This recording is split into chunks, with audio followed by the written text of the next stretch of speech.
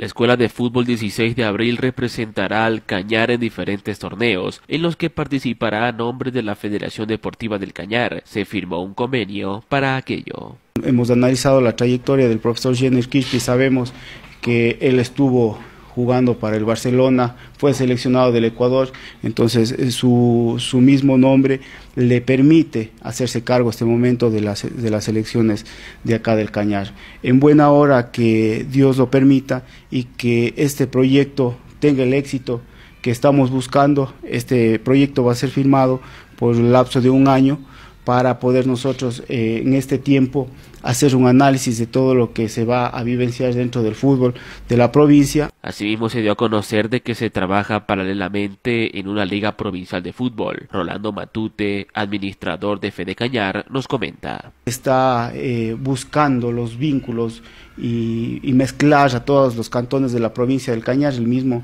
eh, arrancará ya el próximo año en el que tendremos la participación de todos los siete cantones de la provincia, incluidos los cantones pe pequeños, Suscal, Tambo eh, y Dele, que están muy emocionados con este proyecto y han confirmado ya la participación. La idea es eh, generar una selección de fútbol de la provincia del Cañar con todos y cada uno de los cantones de la provincia. El representante de la Escuela de Fútbol manifiesta que la finalidad es masificar este deporte en la provincia, que en los últimos años se ha visto disminuido. Hemos visto la posibilidad y la oportunidad de vincularnos a la federación y así empezar un proceso más adecuado en las instalaciones adecuadas para los chicos para que puedan dar mejores resultados y a futuro eh, poder eh, sacar eh, muchachos de nuestra ciudad, de nuestra provincia, a jugar fútbol profesional.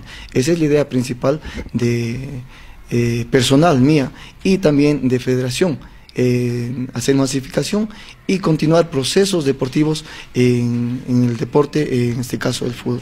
Adujo además que se tiene un equipo femenino en el cual ya ha participado en los Juegos Nacionales de Menores con la Escuela de Fútbol 16 de abril. Necesitamos apoyo en procesos deportivos. Necesitamos apoyos en procesos deportivos con muchachos, con niños de 5 a 17 años.